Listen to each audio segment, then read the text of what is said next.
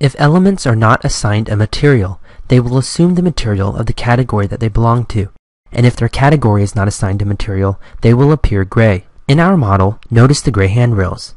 To assign a material to an object category, go to the Manage tab and select Object Style. Notice the categories are listed on the left side and the materials assigned to the categories are listed on the right side. Let's navigate to Railings.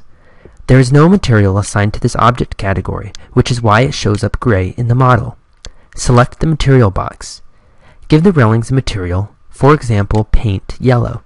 Select OK. Notice that the new color now shows up next to the railings in the Object Styles menu. Select OK again, select OK again, and notice that our rails are now yellow.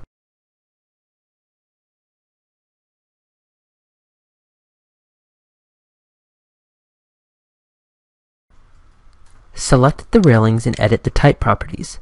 Now edit the rail structure. The material for all the rails are defined by category, which is why they appear as our default yellow. Let's change the material of the larger rails to be paint blue.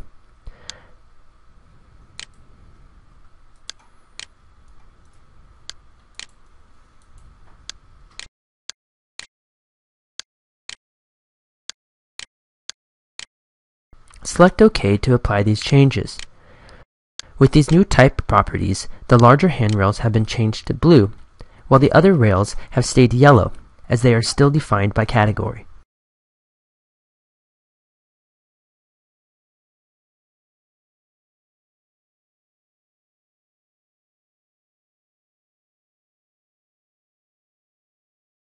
Switching to the studio, let's examine the materials of the console table. First, select the table. The materials in the instance properties are all defined by category, which is why the table is gray. Change the table surface material to glass. Notice how the model has changed to reflect the new material. Now, let's change the table frame and pedestal to wood cherry.